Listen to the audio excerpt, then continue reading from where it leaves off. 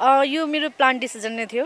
Actually मलाई last international खेलेर चाहिँ रिटायर्ड लिनु मन थियो रिटायरमेन्ट लिनु मन थियो तर अब अनफर्चुनेटली त्यो पोसिबल भएन। अनि त्यही भएर चाहिँ एपिएफबाट आफ्नै जुन क्लबमा बाह्र वर्षदेखि आबद्ध छ यो क्लबमा होइन त्यसको त्यही भएर एपिएफबाट एउटा कुनै टुर्नामेन्ट खेलेर जितेर चाहिँ रिटायरमेन्ट लिने प्लान थियो। ओभरअल यो टुर्नामेन्ट चाहिँ अलिकति लाइक इमोसनल भएको थिएँ म अब आज बिहानदेखि पनि इमोसनल थिएँ किनकि अब यो मेरो लास्ट टुर्ना लास्ट म्याच हो लास्ट म्याच हो भन्ने दिमागमा थियो। अनि अब यसपछि चाहिँ म क्रिकेट खेल्दैन भन्ने थियो। त्यही भएर ओभरअल हेर्दाखेरि चाहिँ इमोसनल नै थिएँ म यो ओभरअल टुर्नामेन्टमा कोसीसँग सायद धेरै मैले टुर्नामेन्टहरू नखेलेर होला त्यति इमोसनल एट्याचमेन्ट चाहिँ छैन।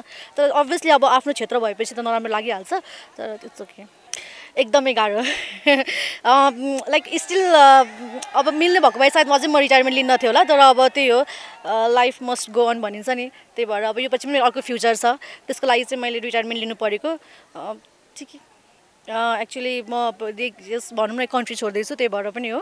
अनि अर्को भनेको अब मैले क्रिकेट करियरमा मैले like almost fourteen to fifteen years दिइसकेछ नि त। अनि अब लाइक वाइ नट अर्को कुनै मैले जे अब मसँग मलाई जुन कुरामा इन्ट्रेस्ट छ त्यो कुराको लागि चाहिँ म यो क्रिकेट छोड्नुपर्ने भएको भएर चाहिँ छोडिरहेको छु। पाएँ मतलब जस मलाई यो क्रिकेट खेल्नु चाहिँ मेरो ड्याडीको थ्रुबाट मलाई भनौँ न मलाई एकदमै रहर इन्ट्रेस्ट थियो नि त। ड्याडी ड्याडी कोच भएको कारणले चाहिँ मलाई क्रिकेटमा इन्ट्रेस्ट लागेर मैले खेलेँ।